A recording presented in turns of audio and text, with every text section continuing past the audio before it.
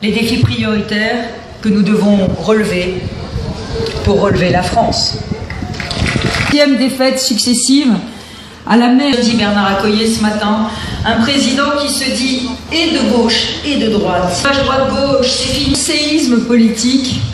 Face à ce défi qui nous est lancé, celui d'incarner à nouveau l'espoir pour les Français, que faire? Premier jour, on a du mal à le faire après. Or, à ce stade, le bilan d'Emmanuel Macron est bien maigre.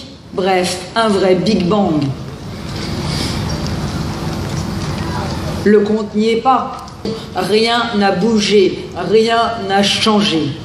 Au contraire, les APL baissent, la CSG augmente. Victime de l'angélisme qui caractérise la gauche française. Aujourd'hui, il appartiendrait au contraire au président de la République d'ouvrir les yeux et de réaffirmer une laïcité sans faille pour faire prévaloir partout les lois de proximité, alors qu'elle est déjà débordée. La conception du programme au sein de Force républicaine avait l'ambition de tout changer.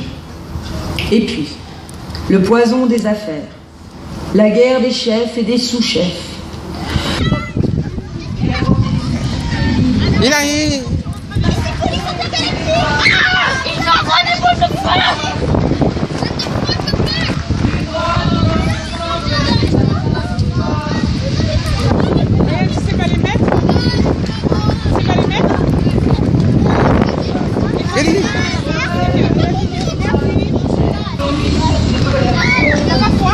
Chaque mois, le ministère de l'Intérieur publie enfin les chiffres des lois de la République.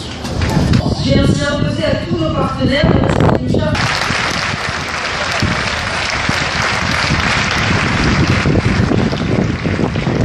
Il faut dire la vérité, le risque islamiste existe dans le Alors je veux dire, M. Mélenchon,